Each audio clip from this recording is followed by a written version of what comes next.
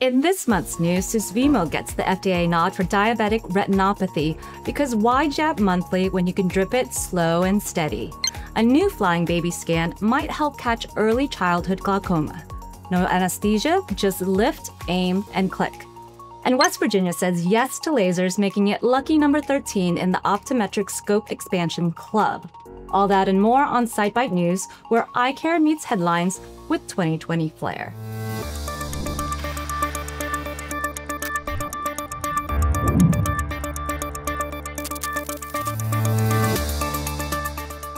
Turns out the world's still squinting at progress when it comes to basic eye care.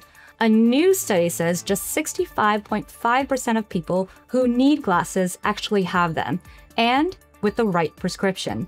That's called effective refractive error coverage, and it's barely budged since 2010.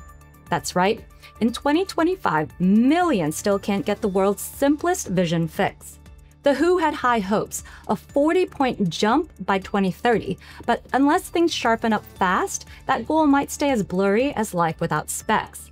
On the glaucoma front, some tiny patients just got a big break. A new study out of India is putting Swept Source AS OCT in the spotlight, showing it might help detect early childhood glaucoma without general anesthesia. All you need is one quick scan and a steady pair of arms. Enter the flying baby technique, literally holding infants up to the scanner just long enough to catch a clear view of the anterior segment. If the trabecular meshwork is MIA on the scan, that's a strong sign glaucoma might be in play. Of course, flying babies require skilled staff, and SSAS OCT machines aren't exactly standard issue yet. But if future studies confirm this, clinicians could get a safe in office tool to catch glaucoma early, and maybe even before the next diaper change. Big news in the retinal world the FDA gave a thumbs up to Susvimo, Genentech's port delivery system for diabetic retinopathy. Forget monthly injections, Susvimo's tiny implant slowly delivers medicine over time, like a retinal drip coffee.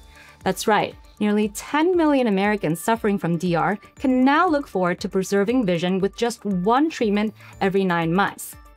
With this latest approval, Susvimo isn't just changing treatment schedules, it's poised to reshape the future of DR care, one refill at a time. And lastly, West Virginia is seeing the light. Laser light, that is.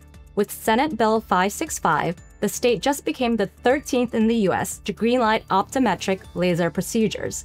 That means ODs can now handle minor laser treatments in office, saving patients in rural areas a long haul to care.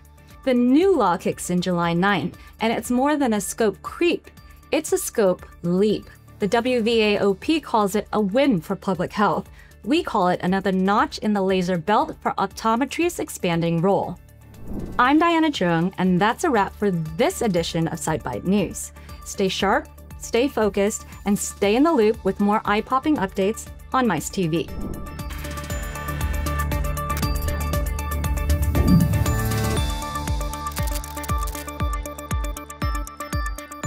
Got a juicy story or a hot take? Drop us a comment below.